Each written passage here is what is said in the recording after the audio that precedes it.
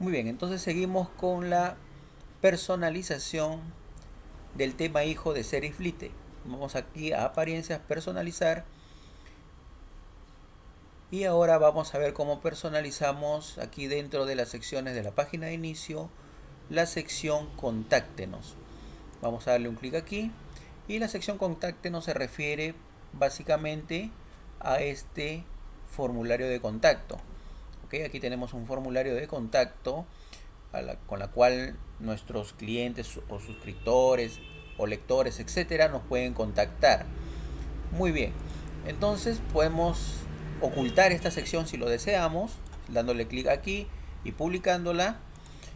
Le podemos poner un título a esta sección, el título ya lo tenemos aquí, contacta con nosotros, etcétera, lo pueden cambiar ustedes, le pueden poner un subtítulo, qué sé yo, algo así, o ustedes tienen una mejor creatividad, lo pueden hacer. Fíjense y va apareciendo aquí si le damos publicar y aquí le damos refrescar.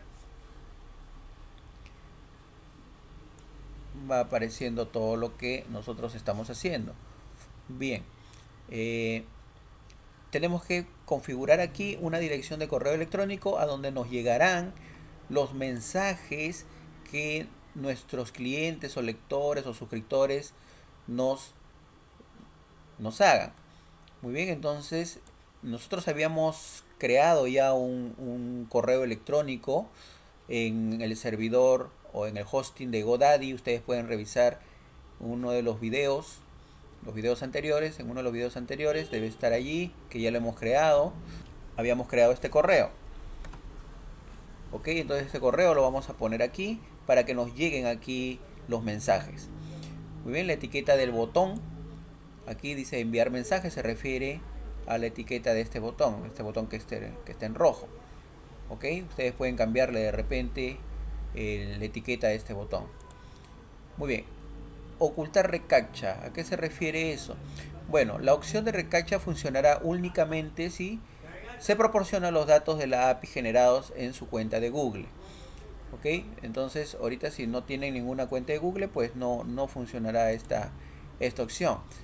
Bueno pues si se han creado una cuenta de google eh, pueden obtener la clave del sitio para recacha y la colocan aquí. A su vez también obtendrán una clave secreta para recacha y la tendrán que colocar aquí. Muy bien. Entonces básicamente esta es para la configuración de la sección contáctenos Además, eh, para una configuración más avanzada nos podemos dirigir ya directamente al plugin Pirated Form y podemos hacer otro tipo de configuraciones. Eso lo vamos a ver conforme vayamos avanzando porque en, otras vamos a crear páginas en donde vamos a incluir formularios también. Entonces ahí vamos a entrar a estas configuraciones avanzadas. Pero yo quiero mostrarles cómo hacemos la configuración básica solamente para esta sección de contáctenos. Muy bien, le damos aquí publicar.